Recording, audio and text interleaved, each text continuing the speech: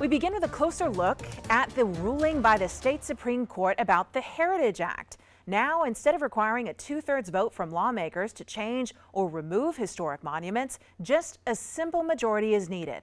But as Julia Kaufman tells us, one lawmaker vows to not let any votes happen at all.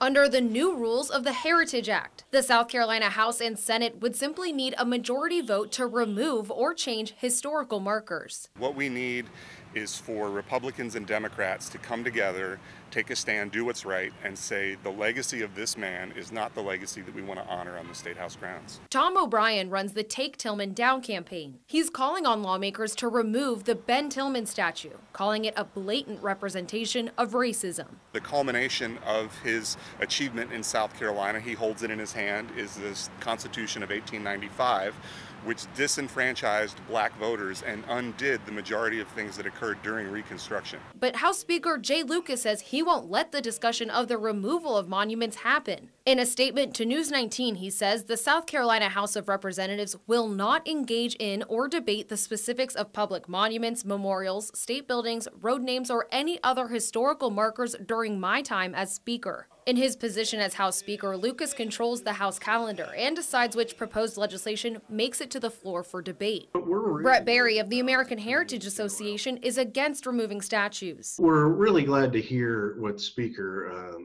Lucas has said, and uh, we really appreciate his his leadership uh, on the issue. He's unhappy the court changed the Heritage Act's two-thirds rule. But luckily, the core of the law was was upheld.